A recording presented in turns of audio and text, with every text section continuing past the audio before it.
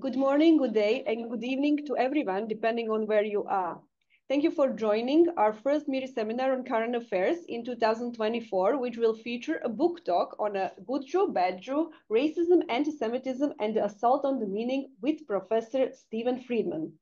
My name is Svetluša Surova, and I'm the founder and senior researcher at Minority Issues Research Institute. Here at MIRI, we are dedicated to conducting research on minority issues and promoting minority rights worldwide. And now it's my great pleasure and honor to welcome our esteemed speaker, Professor Steven Friedman. A warm welcome also to all of you joining, joining this event. Before I hand over the floor to the professor, allow me to introduce him briefly. Professor Steven Friedman is a research professor at the Faculty of Humanities at the University of Johannesburg. He is a political scientist who specializes in the study of democracy. He has written widely on South Africa's transition to democracy and on the relationship between democracy, social inequality, and economic growth. He has emphasized the role of citizens' voices in strengthening democracy in his work. And also he has written many books, and I will mention only a few. His book Building Tomorrow Today is a study of South African trade union movement and its impact on democracy. In his book Race, Class and Power, Harold Wolpe and the Radical Critique of Apartheid, published in 2015, Professor Friedman studied South African radical thought. He has also examined the democratic theory in his book Power in Action, Democracy, Citizenship and Social Justice, published in 2018. And in another book, Prisoners of the Past, published in 2021, he discussed South Africa as a path-dependent democracy. And also, in the same year, uh, he has written a book on the COVID-19 pandemic in South Africa. Today, Professor Steven Friedman will present his newest book published at the end of the last year by Wits University Press, uh, which is entitled, as I already mentioned uh, at the beginning, Good Jew, Bad Jew, Racism, Anti-Semitism, and the Assault on the Meaning. In this book, Professor aims to illustrate how members within the group can try to impose an identity on others by inventing their own understanding of racism. And he observes how the term anti-Semitism has been redefined, shifted, and even detached from its original meaning. And this new anti-Semitism he sees as a product of the Israeli state. So, Professor, uh, can you present to us now your main claims of the book and the arguments that underpin them? The floor yes, is thank, thanks, very, thanks very much. And, and thanks for the opportunity uh, to engage with you on the book.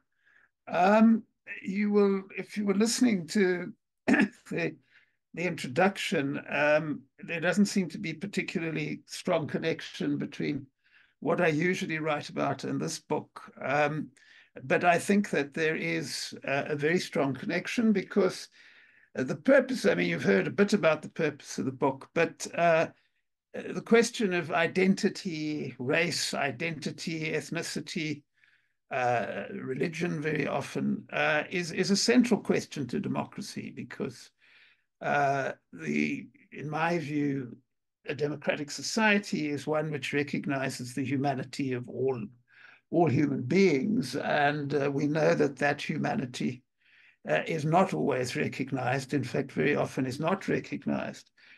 Um, and because I'm South African, uh, and we have a history, of course, of, of, of racial division and racial domination, uh, questions of race and identity have always interested me. And uh, uh, that is one reason why uh, Palestine and its effect on Jewish identity is of interest to me. Now, the reason I wrote this book is twofold. I mean, the one is very specific, uh, and the other one is more general. Um, let me talk more about the general one uh, just for a moment. Uh, and the general one is that if we go back into the history of racial prejudice, um, we find that you know for for for certainly for the last hundred years or so, uh, since uh, a group of uh, German writers at that stage purported to come up with something which they they called race science, which claimed to demonstrate uh, that uh, white people were superior to all others.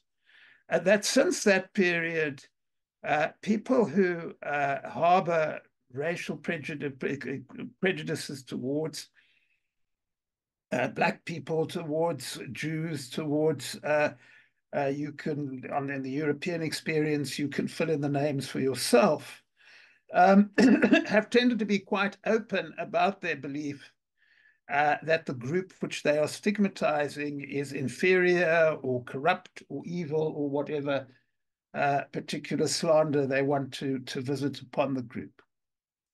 Uh, for quite a while now, this has changed. Uh, and, and the way in which it has changed is that uh, people who harbor racial prejudices uh, have taken to blaming their critics for racial prejudice.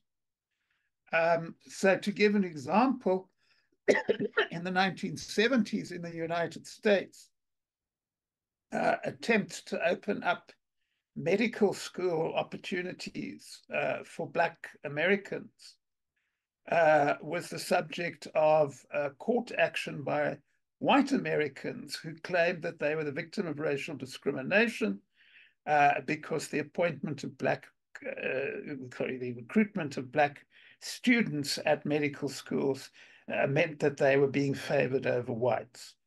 Uh, and this is only one example. I mean, in, in, in, Europe, you will be familiar over the last few years, for example, about uh, arguments about uh, uh, the statues of slave owners and, and, and how that particular experience should be understood. Um, so that what started as a complaint about admission policies at American universities has become a much wider trend. Um, and uh, very often people who, who harbor clearly uh, prejudiced views uh, against race uh, find it against other races find it useful to stigmatize uh, the the the the, the critics of their racism by by accusing them of racial discrimination. And one reason, one of many reasons for looking at this in the Jewish context and the context of, of the Israeli state and uh, the effect that it's had on Jewish identity is that this particular trend is particularly marked uh, when we look at uh, attitudes to uh, racism directed at Jews. Now, I'm sure everybody here will be familiar, particularly after the events of the last few months, when obviously all of these uh, issues have been amplified to a large extent, uh, that has become very uh, customary now, very common uh, for people to be accused of anti-Semitism.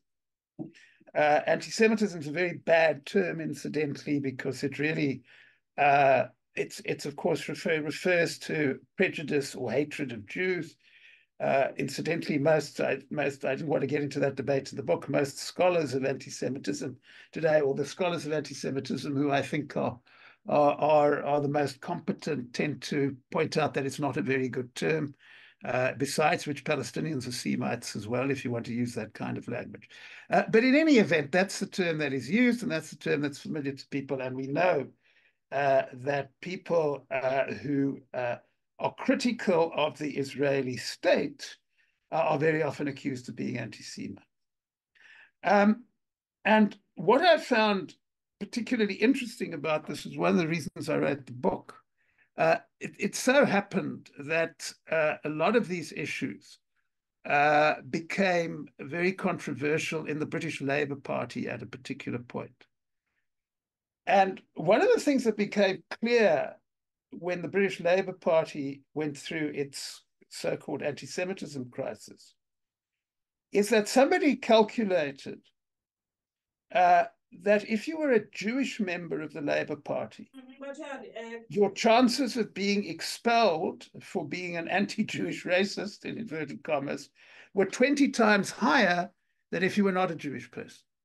And so this is uh, puzzling. Uh, why should members of an ethnic group be more likely to be accused of uh, hating that ethnic group or being prejudiced against that ethnic group uh, than other people. So, so that was the first puzzle. Secondly, when you looked at the expressions of anti-Semitism so-called expressions of anti-Semitism, you found something quite interesting, which is that these expressions of anti-Semitism were not, in the main, expressing hatred towards Jews at all. They were expressing opposition of, of, of various degrees to the Israeli state and the practices of the Israeli state. So, so uh, what seemed to have been happening is that uh, the term anti-Semitism was no longer uh, directed at people who hated Jews, it was directed at people who opposed the Israeli state. The other puzzle which needs to be explained is that many of the people at the moment, and I'm talking about international political figures, who are most enthusiastic about the Israeli state really are anti-Semitic. In other words, they really dislike Jewish people or they harbor prejudices against Jewish people.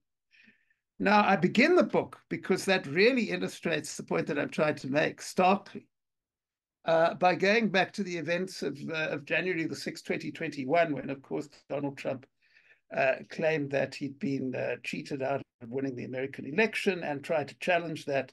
And there was the infamous attempt to storm the Capitol. Now, if you look at the accounts of that day and the pictures, you see something rather peculiar.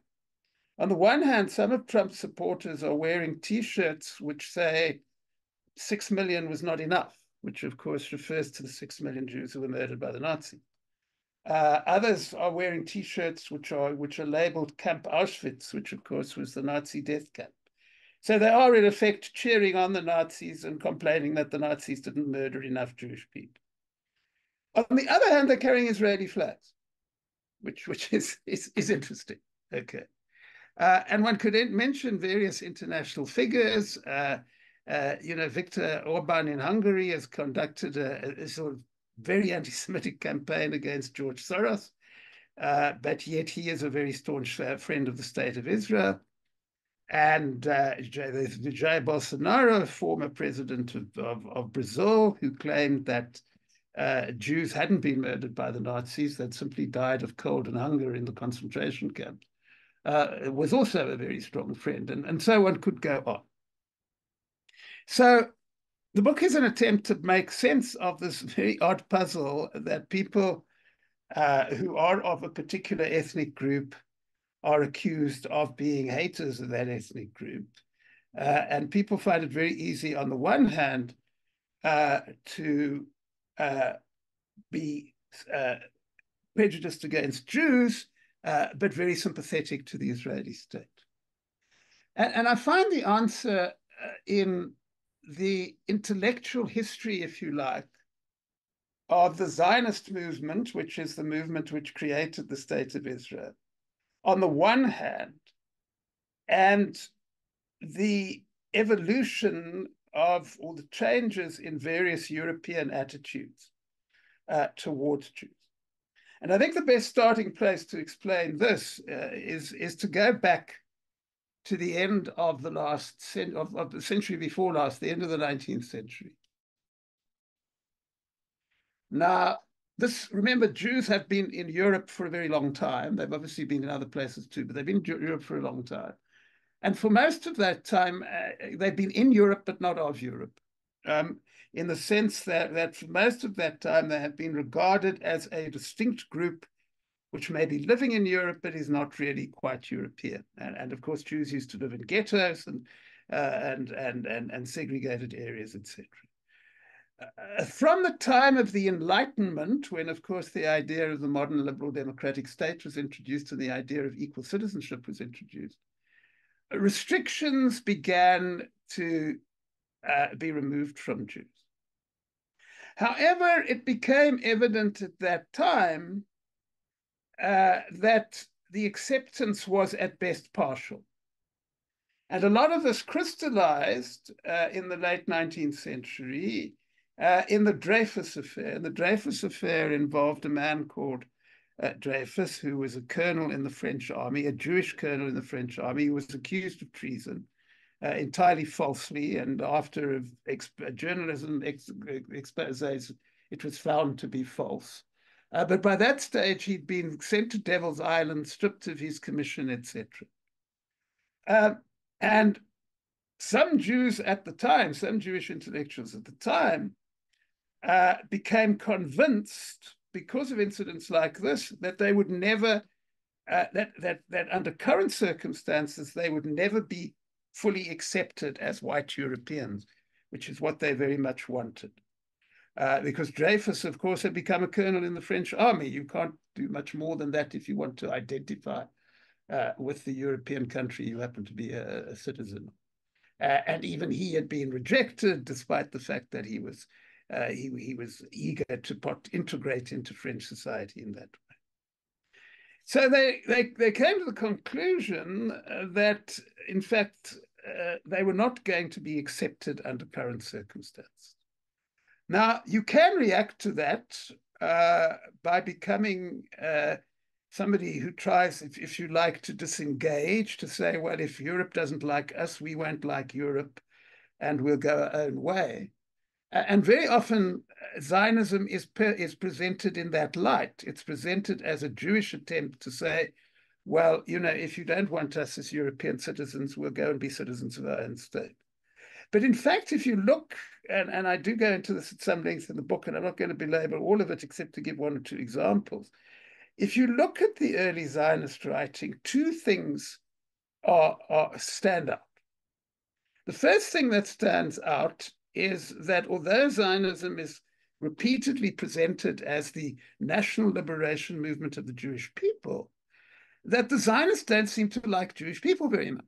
Uh, uh, they, the, the write, writings of early Zionism uh, are, are, littered with uh, complaints uh, about Jews, uh, about how Jews are parasitic, Jews do not contribute, all, all, all sorts of racial slurs directed at Jews.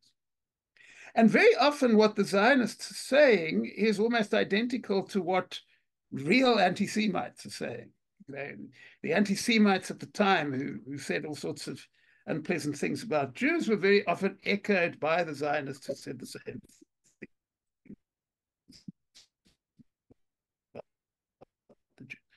The only difference between them is that, and the Zionists believe that Jews could be cured of their disease, if you like, by having a state. And it's very clear from the writings of the Zionists that the state they had in mind was a European state in the Middle East. And this is typified to me by uh, Herzl, Theodor Herzl, a, a, a, Viennese journalist who, who became, in many people's views, the, the father of Zionism uh, and who, who, who, wrote several books on the topic. Herzl wrote a book called Alt Neuland, uh, Old New Land, which was a fictionalized novel type account of why there ought to be a Jewish state and what the Jewish state would look like. And the remarkable thing about Herzl's Jewish state in, in the Middle East is that its citizens speak German, uh, they get dressed up in the evening in top hats and tails to go to the opera. And uh, he, he advises that the state ought to encourage dueling uh, because he says that adds an air of French refinement. Dueling, of course, being the ancient practice of people trying to kill each other because they believe they've been insulted, uh, which he saw as a, as a very noble European practice. So, in other words, what he's trying to create is a European state in the Middle East.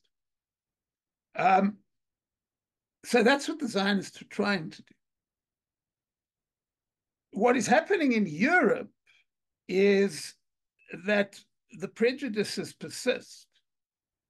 But we then have the 1930s and we have the Nazi genocide.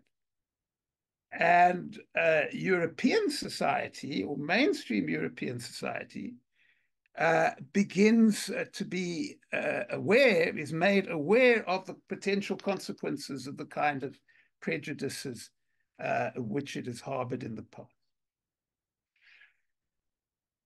That gives European society a reason for changing its attitudes to, to, to Jews. On the other hand, there is the emergence of the Zionist movement and the demand for a, a, a, a, Jewish state, which in a sense gives European elites the best of both worlds because they can support Jews uh, and therefore distance themselves from the Nazis, uh, but they can encourage Jews to go somewhere else. And they can also encourage Jews to become representatives of the West in the Middle East. Now, unfortunately, when I read the book, uh, I hadn't been, well, it hadn't been published yet. A, a, couple of weeks after I wrote the book, another book appeared on Germany and its attitude to the Israeli state, etc. And the book, for example, which I was obviously unable to use in my book, uh, actually quotes an exchange between Konrad Adenauer, who was the first chancellor of post Nazi Germany, and uh, Ben Gurion, who was the Israeli prime minister, in which Adenauer says, We will always look after you. You are the West's representatives in the Middle East. You are our people in the Middle East. So, you know, he can't be much more specific than that. Um, and, and, and, and that has been repeated throughout uh, the, the period since 1948 when the state was responding. So, in a sense, you have a certain kind of synergy. You have a synergy between uh, uh Jews who believe that the best way to become white Europeans is to start a state in the Middle East, uh, and Western elites uh, who want to encourage this because it meets both the objectives of, of protecting Western culture and Western interests, and also uh, of, of uh, providing uh, some sort of alternative to the anti-Semitism problem. Uh, it, it, ought to be mentioned in this respect, I mean, just to drive home the point that the beginnings of Western exception, acceptance, sorry, of, uh, of, of the Israeli state uh, was, of course, the Balfour Declaration, which was issued in 1917 by Arthur Balfour, who was then the Foreign Secretary of Great Britain. Uh, and a few years earlier, Balfour had actually campaigned against Jewish immigration to the UK. Uh, he'd introduced very harsh immigration laws because he said, well, if you don't do this, you'll have Jews coming into the UK in, in too large numbers, etc.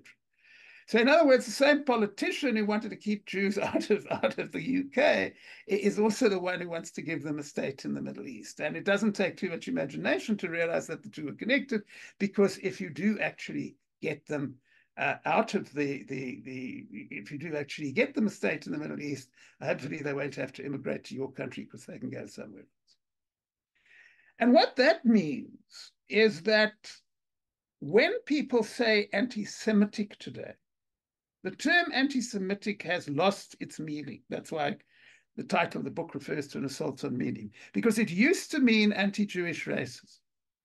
It now means opposition to the Israeli state, or more generally, opposition to the West, or what is seen as the mainstream view of the West. And I must make it clear because the confusion can, when I talk about the West, I'm, I'm, talking about governments and elites. I'm not talking about citizens. Um, uh, the, the, question of Western citizens is a totally different matter, and, and we're seeing at the moment uh, a widening gap between public opinion in the West and what the politicians do.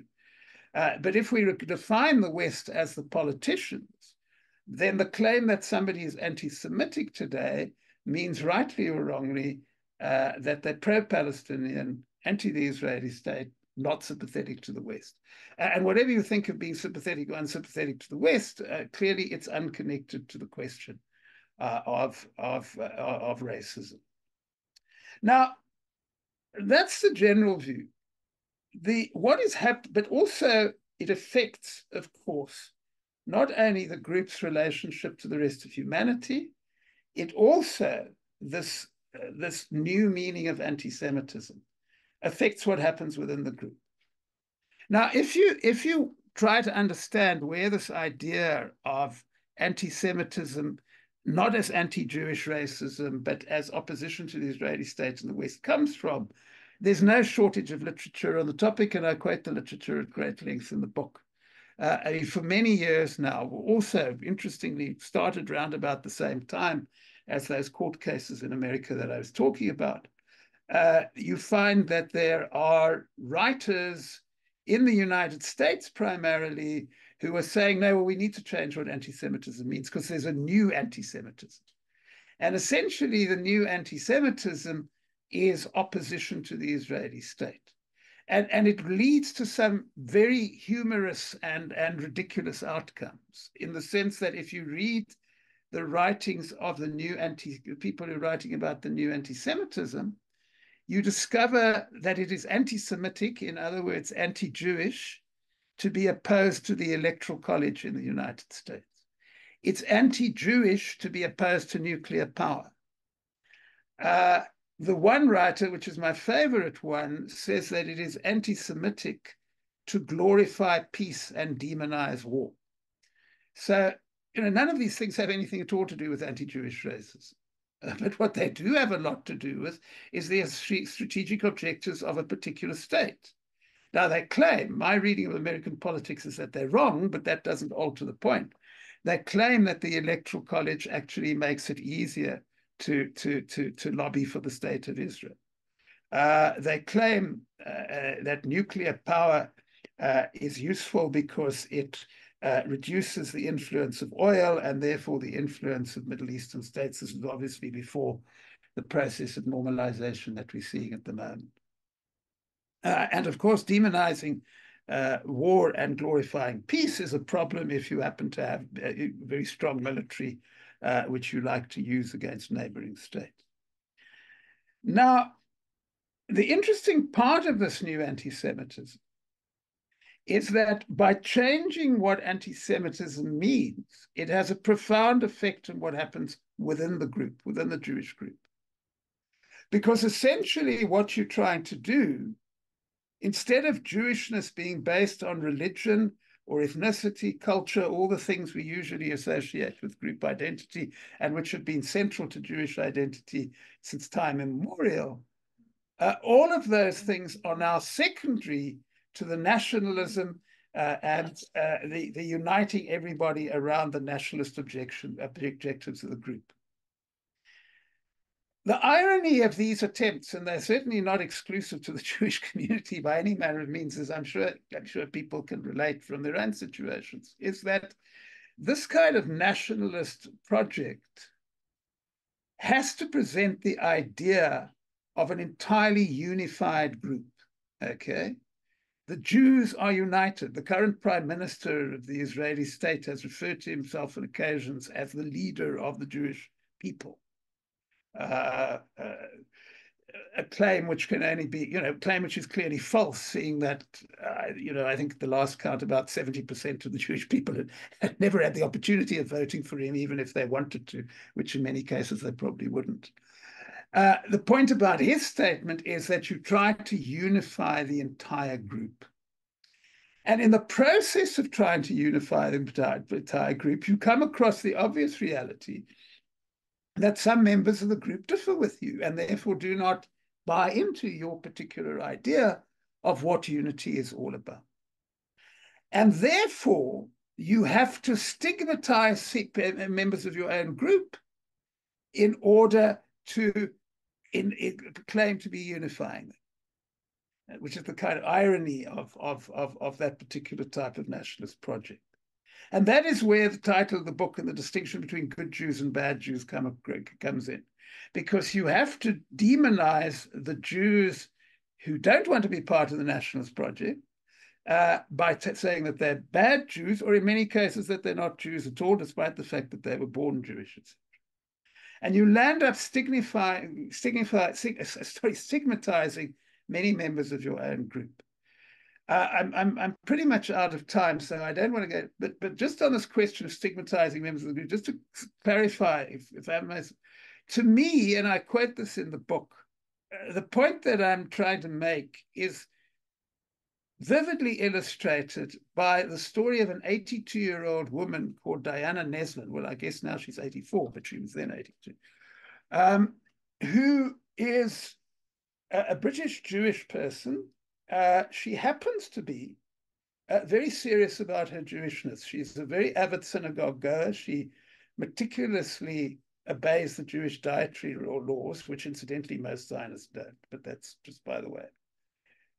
Uh, Ms. Neslin was threatened with expulsion from the British Labour Party as an anti Semite because she had posted something on Twitter now, X, which read, "The state of Israel is a racist endeavor, and I am an anti-racist Jew." So, so for that she was branded an anti-Semite, despite the fact that she is a more identified and more enthusiastic member of the group than the people who were accusing her. Now, there's a great deal else to this, but we have limited time. But I, uh, I think the central point that I'm, you know, there are all sorts of nuances of this we could go into.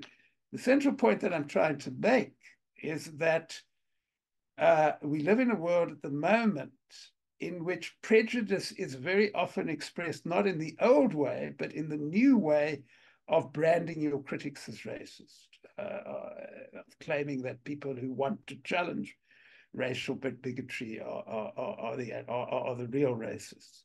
And secondly, the dangers of trying to impose on a particular group of people a, a, a unifying nationalist project which has to end up being more divisive uh, and, and denying the identity uh, of many members of that group because their political views or their lifestyles or their value systems uh, do not uh, coincide with that group. So I think I'll leave it there because of time constraints, but, but hopefully I've conveyed the main argument.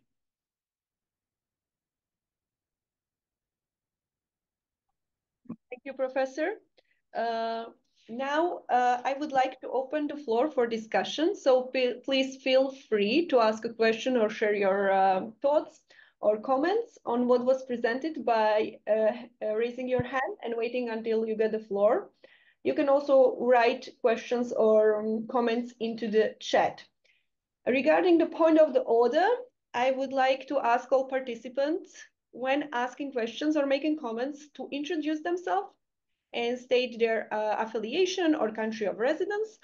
Also, we expect all participants to show respect for the views of others and invite uh, everybody to ex exercise decorum and avoid abusive or disrespectful language or derogatory and inflammatory remarks. So, do does anybody has the questions? I see some hands raised. Okay, I suggest that we collect uh, two, three questions and professor can answer them in the order that he uh, sees uh, uh fit. So, uh, uh, Patricia, please, you can ask your question and then Dragan. Um, good morning, everybody. I'm from the US, so it's still very early here. I'm, first and foremost, I'm sorry that my video is not on. As you can see, I'm still working with the kids on my morning duty. Um, Professor Friedman, good to see you again. It's been a long time. And um, thanks for the um, talk. It's very refreshing to hear from you. So um, what you've said, um, you said something about a lot of book coming out in this area and I think I've got a glimpse. I also have to confess I've not read your book, but after this talk, I'll make sure I get it. um, yes, the US uh, is actually, in terms of what you just described, is quite tense at the moment.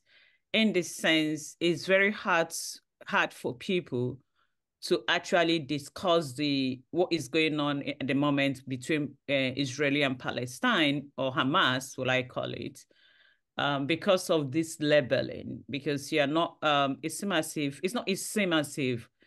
The narrative of trying to explain or in some way um, the humanity, bring up any kind of humanity, you are tagged anti-Semitics, which is quite ironic so, um, but also I have observed something. I don't have any systematic research. I've not done any systematic research. Neither have I come across any systematic research.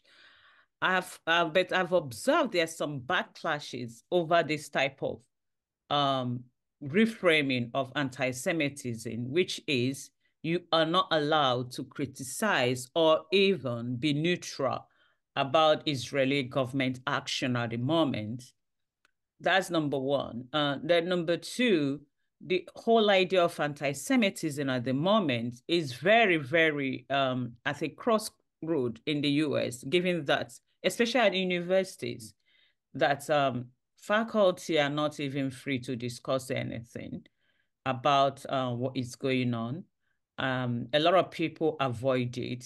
So I want to know what is your take on this? Because yes, on a global level, we know what is going on.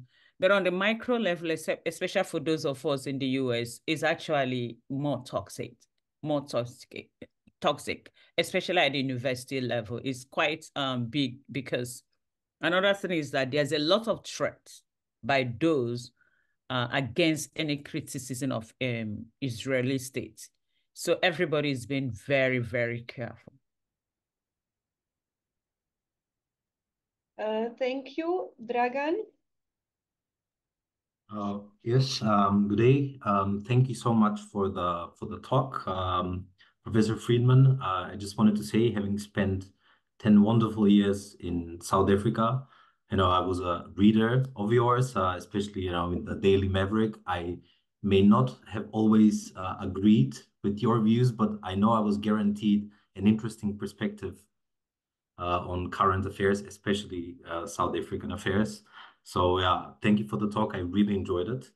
Um, I would like to take a more uh, German-centric um, uh, approach and maybe get your take um, on on the following. First of all, I really enjoyed um, uh, how you arrived uh, at the conclusion that uh, in today's world, an anti-Semite can be someone who actually deep down despises the Jewish people and therefore is very pro-Israeli um, or, or actually, pardon, uh, the people who oppose anti-Semitism.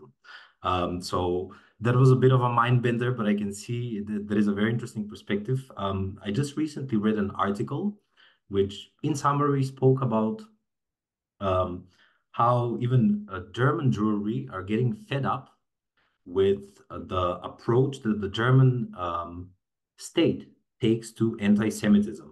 So of course you mentioned that since Adenauer, Adenauer and especially then Angela Merkel, you know, this sense of special responsibility towards Israel was cemented. Um, you know, stressing that its security is also parts, it's also a part of Germany's own, you know, quote, reason of state, unquote. And even ironically, um, uh, parties painted as neo-Nazis, such as Alternative for Germany, are in line with this doctrine, um, at least some sections uh, of them. You know, they in uh, in 2019, I remember they instigated a motion to ban the movement to boycott Israel, which is yeah, an interesting duality. Um, just recently, uh, I read that um, in Berlin, some establishment which hosted uh, Israeli NGOs with you know holding views not too dissimilar to yours, Professor Friedman, have had their funding severed by the local government following probes from the government-appointed anti-Semitism commissioners. Um, the same also similar cases involve poets and artists, some of whom are actually Jewish. Um, and organizations, uh, also in Germany, relying, relying on state subsidies have been scrutinized over suspicions that you know, they cross, cross the bureaucracy's rather vaguely defined lines of um, anti-Semitism. And this, uh, you know, one-sided embrace of Israel has um, sort of, as I, as I mentioned at the beginning, put the German state at odds with the German Jewry.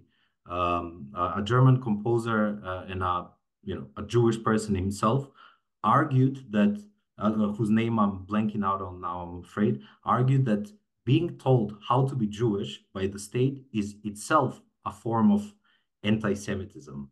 So, um, you know, uh, they say, you know, when a friend is drunk, you don't you don't offer them another drink. You drive them home and put them to bed. But Germany seems to be the other type of friend, the enabler.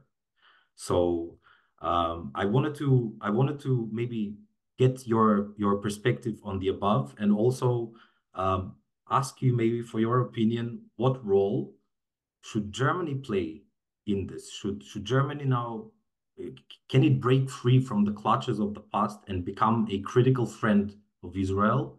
And you know, considering the reverence that the founders of Israel had for the German culture, how do you think that uh, criticism would be perceived by Israeli society and maybe by the global uh, jury.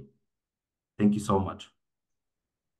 Thank you both Patricia and Dragan for asking uh, questions and sharing your opinions. Uh, Professor, can you re reflect on them and uh, share with us what is your take on it? Yeah, thanks. Um, yeah, Dragan, I, if you'd agreed with the, it would be very boring if you'd agreed with everything I said. So thanks for reading it, whether you agreed or not.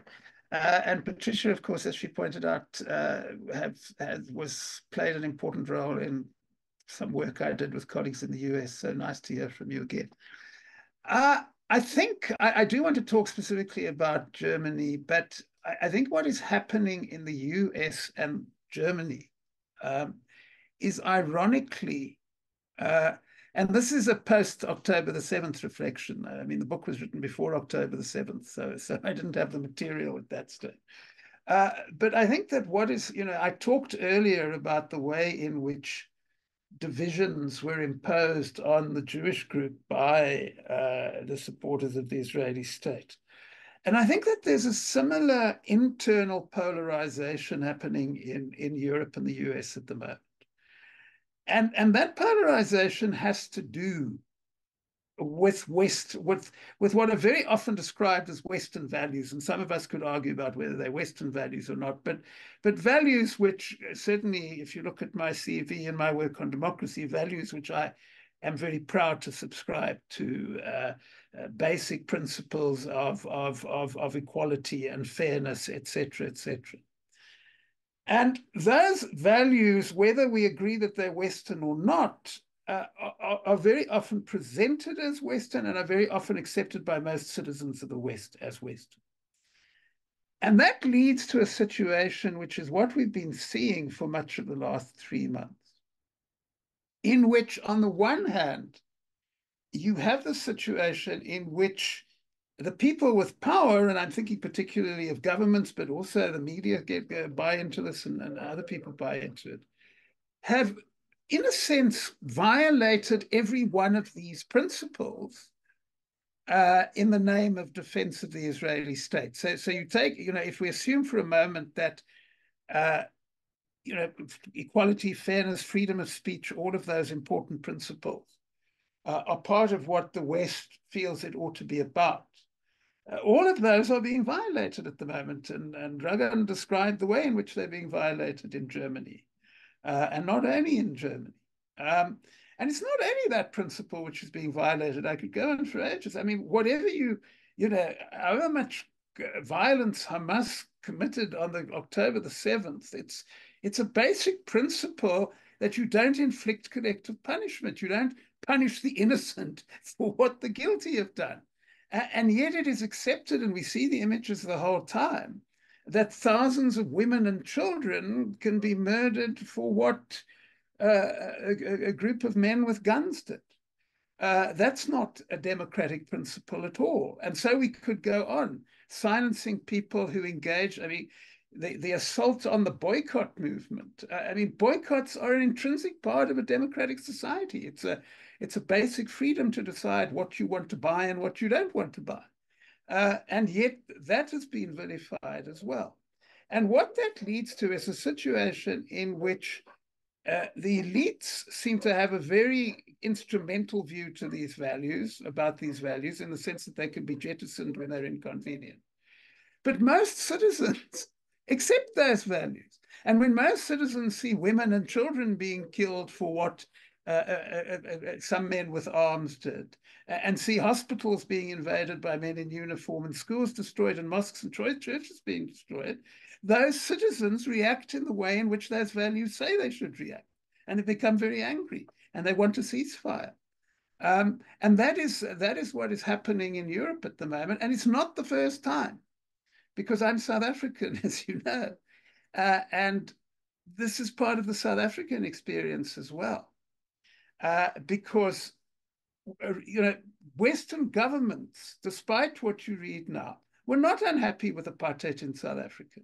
The more information got out, Western citizens became very angry with apartheid in South Africa, and they formed uh, associations which expressed that anger, etc. And I think that's what's beginning to emerge now. So on the one hand, you're seeing in both the US and Germany and other parts of Europe, etc., uh, you, you, you're seeing the refusal of the elites to accept principles like freedom of speech, like uh, the absence of collective punishment, only punishing the guilty, not punishing the innocent, etc.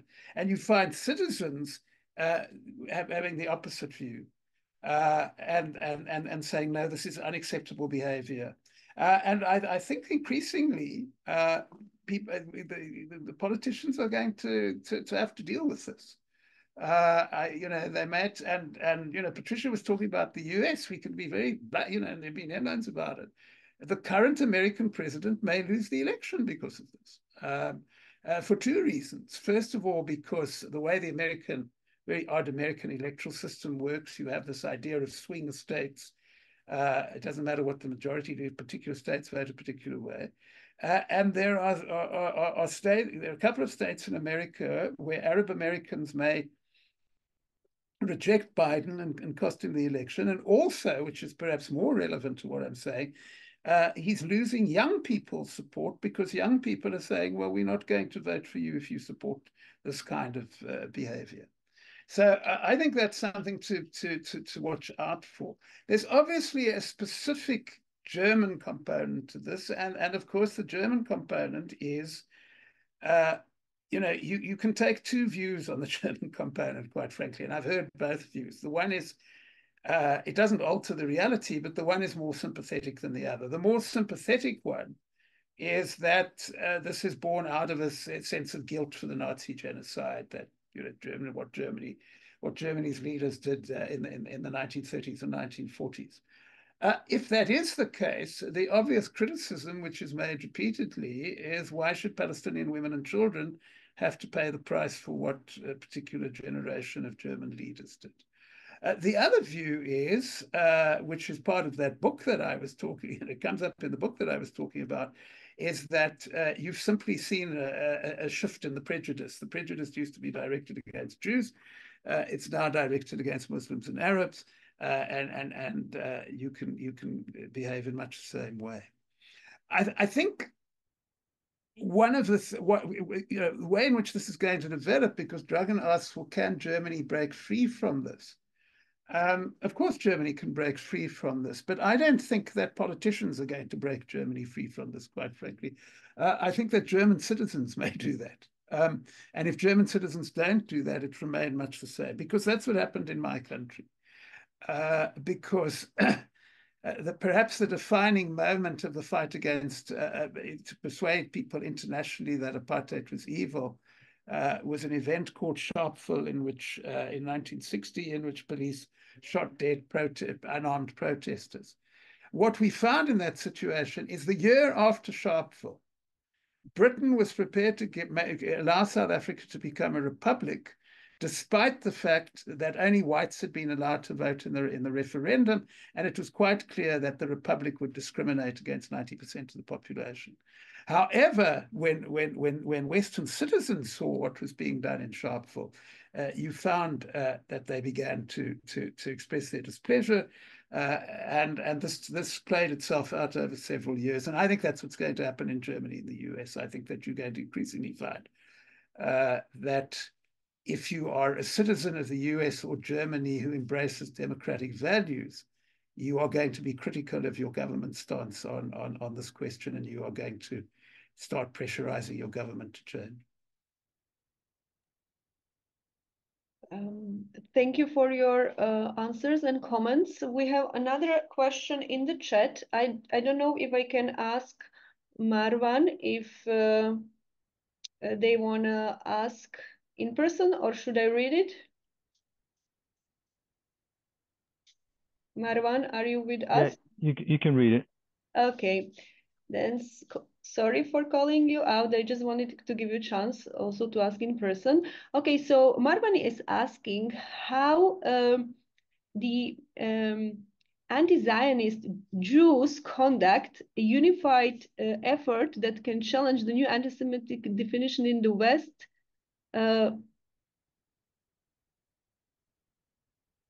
conduct how how can uh, i'm sorry how can the uh, uh, those uh, jews opposing zionists uh, make an effort to challenge the new anti-semitic uh, definition in the west?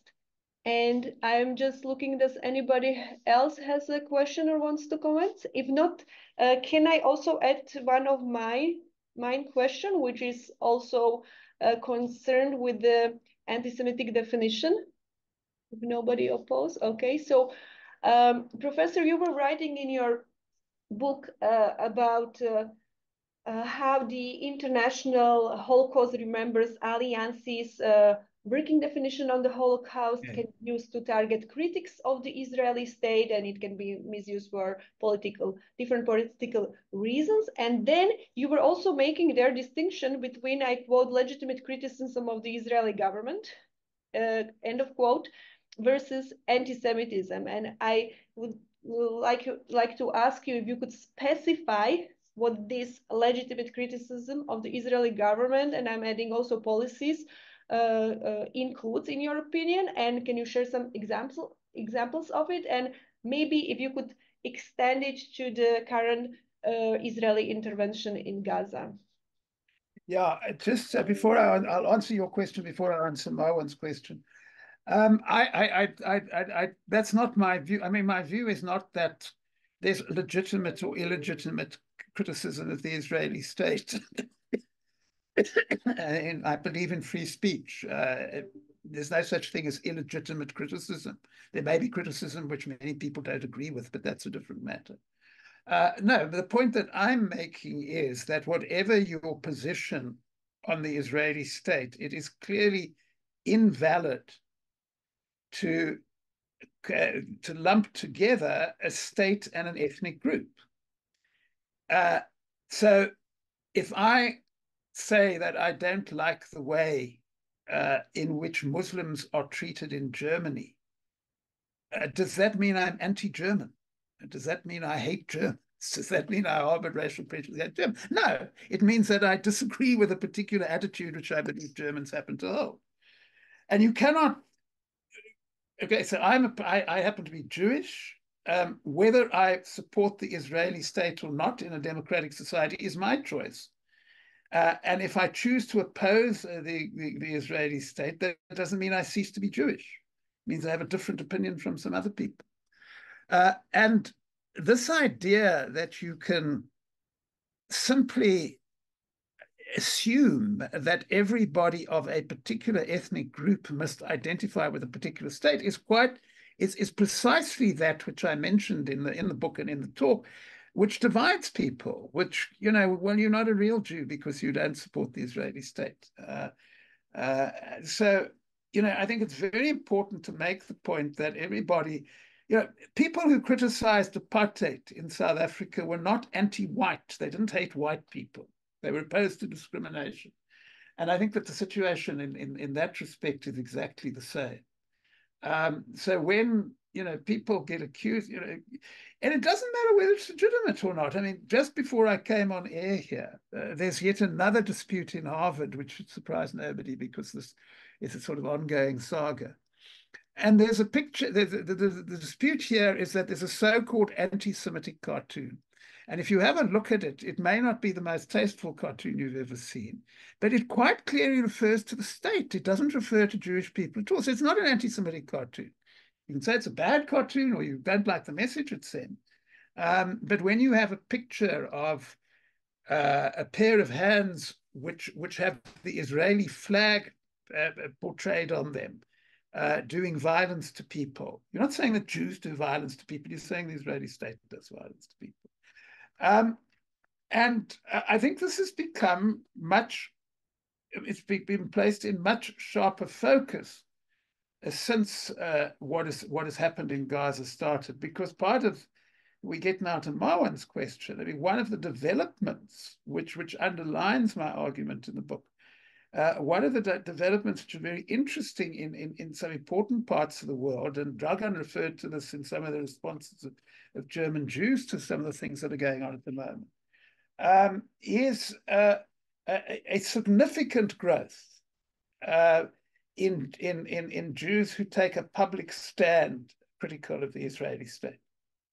Um, this is a big, big issue in the US at the moment. I mean, you have cases in which, uh, you know, groups of rabbis have stood with people and got got arrested for passive resistance, demanding a ceasefire.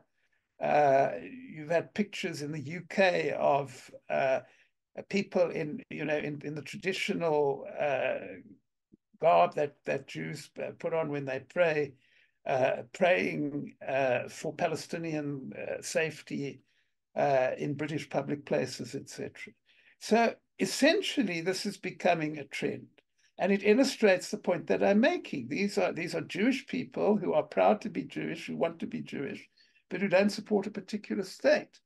And what is interesting about this, and you know, Patricia asked about the US, etc., is that you know, if you, you the interesting thing about opinion polls, what opinion polls are showing in the US is not only uh, that they show uh, majority public support for uh, a ceasefire and for humanitarian intervention, uh, it's that opinions among Jews about the Israeli state are shifting dramatically. Now, it's worth mentioning, incidentally, that some of these views were never what people said they were in the first place. One of the great myths of American politics is that the Jewish vote ensures that the president will always support the Israeli state. That's false. That the, the polls show that it's false. Uh, just as one example, in in a recent, in a poll conducted about 18 months ago, uh, the percentage of American Jews who said that the president's stance on the Israeli state determined which they would vote was 4%. Okay. So 96% do not regard that as a reason for voting for a particular candidate. But what we're seeing now is that uh, that's becoming much more overt. Uh, so that, first of all, and, and it is very much an age divide. So the younger, the younger Jewish, you know, the younger Jewish cohorts, etc., um, criticism of the Israeli state, uh, non-identification with the Israeli state is growing. Uh, so that, I mean, just to quote some numbers and get a sense and feel for what's going on, 25% uh, of American Jews uh, under the age of 30 now believe that Israel is an apartheid state. Uh, but the more interesting figure beyond the 25%, which may not sound a lot, but historically it's immense because the figure 10 years ago would have been 3%, uh, is that if you ask young American Jews whether they identify with the state of Israel, then only a minority do so. Uh, only around 30% actually identify with the state. So, in other words, there are increasing opportunities uh, for Jews who are critical of the Israeli state uh, to win support among fellow Jews. And there's one, if you if you want to get a sense of where the conflict uh, in in uh, in that part of the world may be going over the next few years, I think there's something very interesting. You know, as speaking as a South African, something very interesting difference between the situation of South Africa and the Israeli state. I mean, in many respects, the Israeli state has got advantages which apartheid South Africa didn't have. But the disadvantage it has, I, I, I have a chapter in the book making the point, among other things, uh, that no Jewish state in history has ever survived without the support uh, of a much more powerful state. Uh, and this goes back to, to biblical times. Um, and that means that what happens in the Middle East and what the, Israeli state does depends very much on what happens in other parts of the world. And if you'd said to people in South Africa during apartheid that you could get rid of apartheid by politely persuading white South Africans that they shouldn't behave in this way, you wouldn't have been taken seriously, and rightly so. And if you were to go to the state of Israel today and somehow get to you know, go, go, go communicate with uh, 90% of the Israeli Jewish population and tell them that they should change what they're doing, uh, you wouldn't get much of a hearing either. However, if you look at those other states, and you look at the role of Jewish communities in those other states, they're not in the same position as Israeli Jews, and they're not the same position as white South Africans were. Because, quite frankly, if you're a Jew living in New York or California, what happens in the Middle East does not affect your daily life. You carry on as much as you did the day before, whatever happens. And you don't devise, you don't derive any status and you don't derive any privileges uh, from, from, from the fact that there's a state. And therefore, I think that what we are going to see over the next while or so is a significant shift of opinion within Jewish communities living outside the state of Israel, which inevitably must affect what governments do and will, over time, hopefully, and I'm prepared to have the, the, the same effect as it had in my country, which is to bring people to the negotiating table to really negotiate a shared future uh, rather than to pretend to do so. So, so, so I think we are living in, in, in, in, in times of change on this issue, and that's how I, I envisage the change unfolding. Thank you. Uh, continuing with another question from the chat. First, uh, uh, Muhammad is sharing with us his uh, his opinions opinion that he is uh, amazed when 2 million billion muslims are insulted in the name of freedom of expression if a racist jew is opposed by another person he is trolled in the name of uh, anti-semitism and uh, then he mentions actually what you were professor were mentioning that semites are also arabs and then he asked why uh, that if he's not mistaken basically both arabs and jews are semitic so uh, it's just uh, anti-Jewish, anti-Semitic. So why aren't Arabs included in this racially? Uh they are both part of it. So um, uh, what is the reason for this discrimination? He asked you and uh, expect some guidance from you on, on topic. Well, I mean, my first point is that I, I, I mean, the observations he makes are accurate. I, I, we, we're, we're, we're in agreement on this issue. But why does this come about? Well, it comes about, quite frankly, and there's a history to this, which I mention in the book. Um, it comes about from a period of time in which the, we, the term racism, which we hear very frequently today, today usually means prejudice against black people, against darker skinned people, etc. The term racism actually emerged in the 19 in, in the 1930s in the US and Europe, and it didn't refer to that at all. The only thing it referred to was prejudice against Jews. And so that the entire idea emerged from a Western perspective uh, and a perspective in which people outside the West were simply excluded from the conversation. There were Jews in Europe at the time. That's why the anti-racism uh, ideas emerged. Uh, but there were now there were very few Arabs or Muslims. And therefore, the Jews, if you like, were the Semites in the European world. Uh, and because only the European world was assumed to matter in this debate, uh, the term became anti-Semitism. Um, but of course, it shouldn't have been.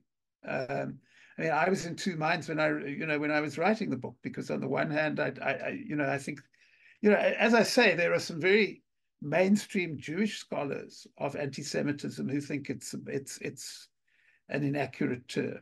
Uh, I mean, a more precise term would be anti-Jewish racism. Uh, and some somebody has suggested Judeophobia, you know, just as there's Islamophobia directed at Muslims. But that's what we've been stuck with for the moment, and the history I've just given is why we stuck with it at the moment. Okay, thank you for that explanation. Uh, does anybody else want to still ask Professor? Ah, yes, there is my colleague Mirsad. Please.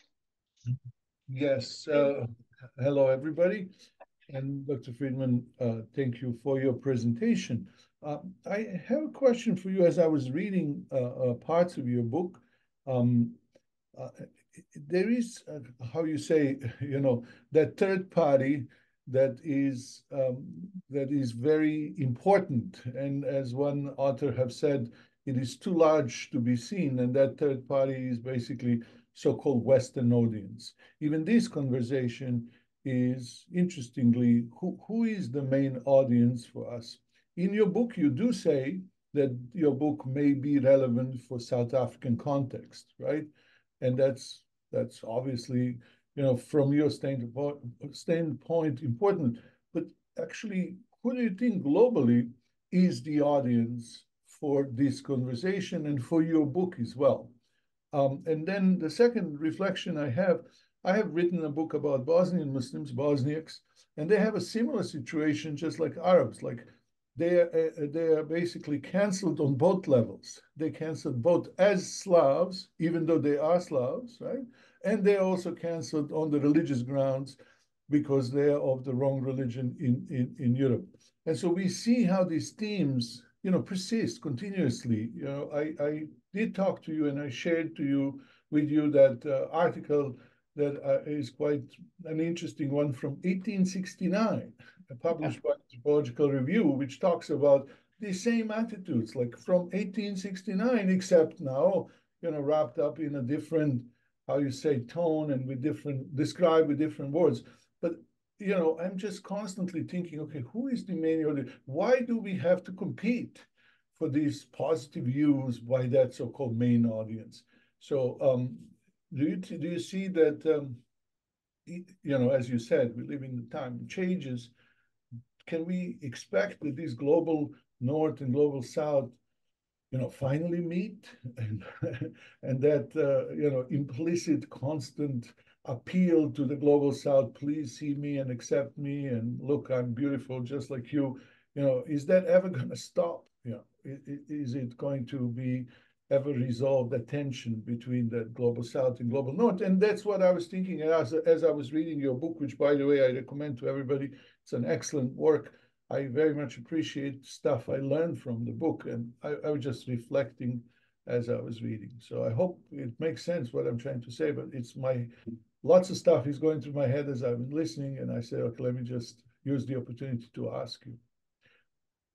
No, it does. Uh, it, it, it does make sense. Thank you, uh, and thanks for the article. Um, yeah, just before I answer your question, I I do need to understand more about Bosniaks because, uh, I mean, I just have this. I don't claim to be an authority, but it it just seems to me as an outsider. I mean, obviously, what you say is true, but that they don't meet quite the same anti-Muslim prejudice as other Muslims because uh, because they are European. But uh, I may have to revise that on the basis of what you said. I, I mean, they were obviously treated appallingly, but uh, uh you know, you didn't. I I may not have read, right, read the right things, but I, I didn't come across the same sort of stereotypes about them as I do did about other Muslims. But I, I do need to find out more about that. So, so thank you for that.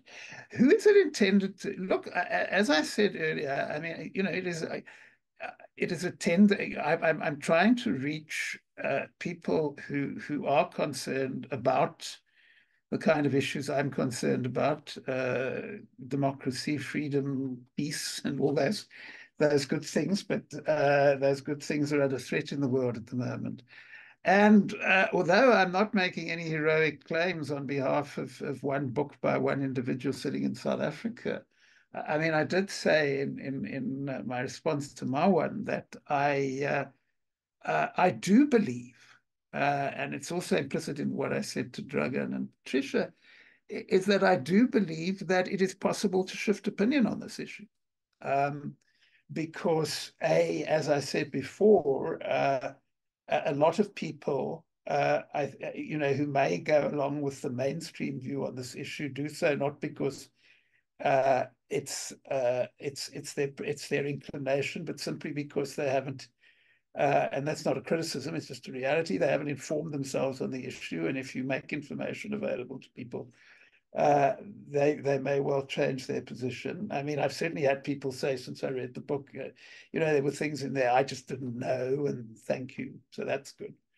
Uh, and secondly, as I said before, uh, I think that there is this conflict at the moment uh, in the West um, between, uh, you know, this idea that that the West does and should stand for uh, the kind of values which I certainly espouse, and, and the fact that in its behavior it very often doesn't. Uh, and I, I, think that that's a very fertile uh, place for discussion. And, and, and you know, it, it, also raises the whole question of, uh, of double standards. There's, there's a wonderful quote which sort of illustrates it. There's a wonderful quote in the book. It's, it's I mean, it takes us into the whole other sort of discussion, but it, it conveys part of what I'm trying to say. I mean, there is a section in the book on India uh, comparing uh, uh, Narendra Modi with Zionism and, and, and so on. And uh, I make a liberal use of a man called uh, Ashis Nandy, who is a, an Indian intellectual uh, written a very important book about colonization.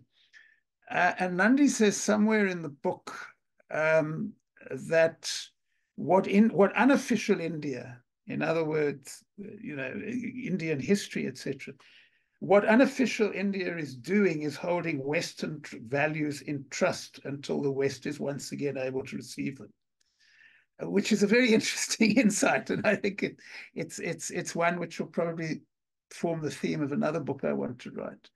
Uh, but what he's saying, of course, is that you know, the West is not simply, but the, beside, despite some of the attitudes we sometimes see in which, you know, one group of people's lives matter a great deal and other people's lives don't matter at all. Uh, you know, the West is not this uh, kind of collection of deeply bigoted people who, um, you know, the majority of people buy into those values, and and and if the politicians and the media people are not actually remaining consistent to those values, uh, then I think they'll be held court to account by, by, by the citizenry. So it's a modest attempt to encourage people in the English speaking world, because it is obviously written in English, um, to look at this question in a new way uh, to the one that, that they probably get if they switch on their television sets, and uh, in that way to, to shift public opinion. Um, and, and I make no heroic claims about my ability to do that, but I think it's worthwhile trying and, and making whatever contribution you can to that. Okay, thank you. Does anybody else has uh, still wants to ask something? Okay, so before closing, uh, can I use also this opportunity, Professor, to ask you one more question? Yes. Uh, uh, although you actually answered on more that I had prepared, but uh, um, uh, I don't know um, uh, if you uh, remember um, how how we met. I suppose you remember that we met at the Brown International Advanced Research Institute. Uh, it was a program on ethnicity, inequality, and conflict in global perspective, um, conveyed with distinguished professor uh, Glenn Loury, Professor Ashutosh Varshney that you quote in your, uh, that you cite in your book, and also Professor Patricia Agupusi.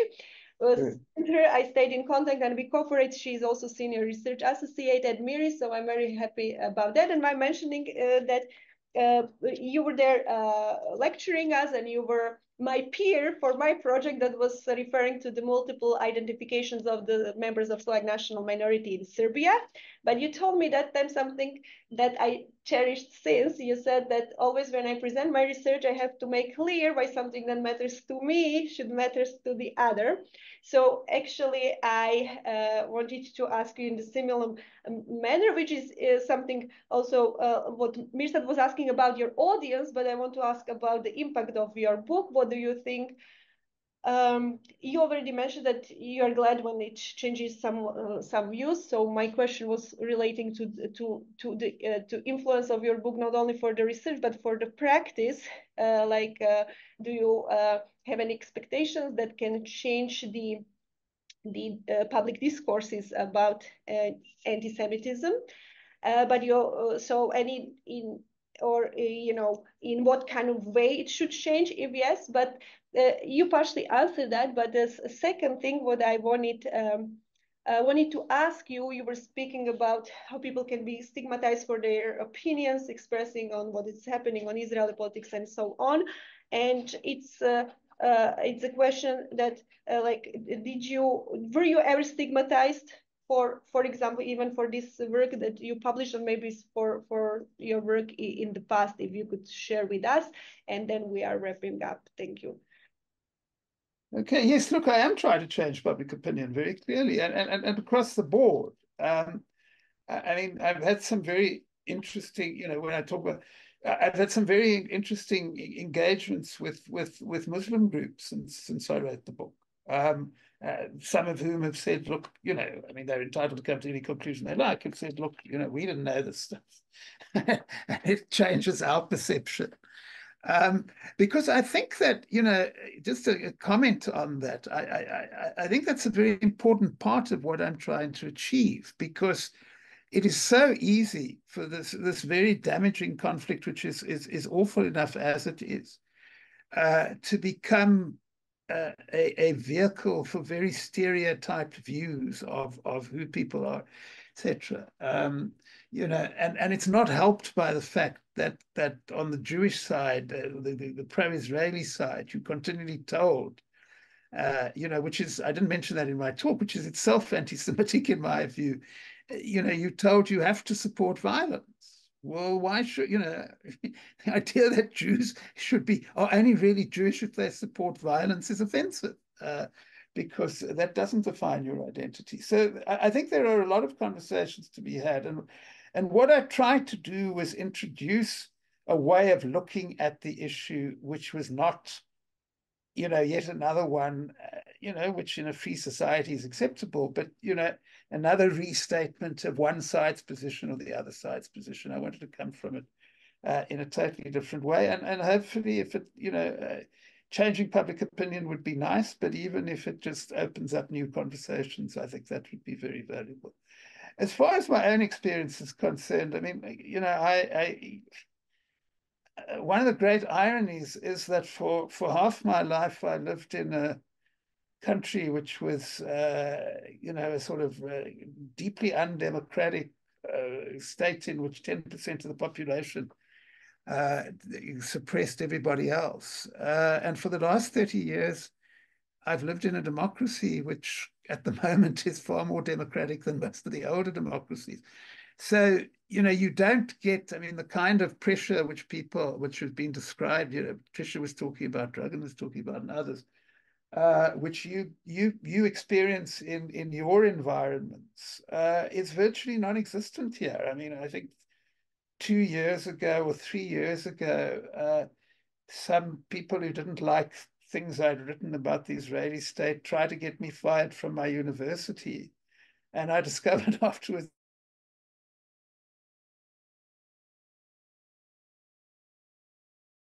that the vice chancellor hadn't even bothered to reply to the thing that he wanted to talk about with anybody. Um, on the other hand, yes, I mean, there has been a, a reaction, but interestingly, uh, as an academic, I find that most of the reaction, most of the negative reaction, I mean, if, if I've paid a professional price for taking a position, it's been in the international sphere, not in the South African sphere. I mean, there's no professional opportunity which has ever been closed to me in my own country as a result of the position I've taken. Uh, but I have been excluded from international projects because of, I've, I mean, this is a, the book is new, but the position is long-standing.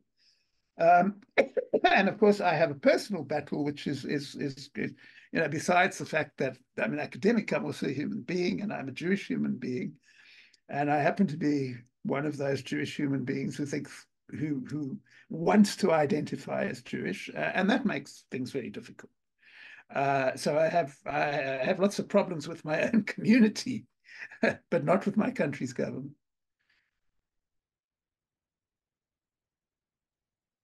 Uh, sorry to hear that, but uh, I hope that you you state um, um, you know, uh, that you uphold it to your integrity and moral values, and that can be some award to you. And I had also another question. What, what do you think? Uh, how should intellectuals and social scientists uh, what, kind of role uh, we should play? Should we engage when some atrocities, uh, uh conflicts are happening, when uh, civilians die and fundamental uh, human rights are endangered? But you answered, obviously, with with the things that you that you do. So thank you for that. And uh, let me then uh, conclude that today uh, we could have uh, heard from Professor how the understandings of uh, anti-Semitism has been evolving and changed to include not only hostility towards the Jews, but also to the opposition of the Israeli state. And many other things Professor has explained us about the new anti-Semitism um, and um, about the Israelis ethnic nationalistic project. Uh, so um, I'm very glad that uh, today's uh, discussion was about mm, thoughtful questioning and inquiring about the book rather than arguing for some positions that we think that they are the only correct ones. So thank you all participants for constructive contributions to the conversations on Professor's book. And I think that we have learned a lot and advance our understanding on this topic. And I really, I read all the book. I even uh, already have written a book review and I, I can only recommend to everyone. And uh, uh, at the end, again, uh, dear Professor Steven, thank you so much for your time and willingness to talk about your book at MIRI seminar. And uh, to the others, it was really wonderful to see uh, um, so many of you from different parts of the world Uh, that they have joined. So thank you and uh, uh, goodbye. And thank you all for the opportunity. It was a, it was a very enriching discussion. So thanks.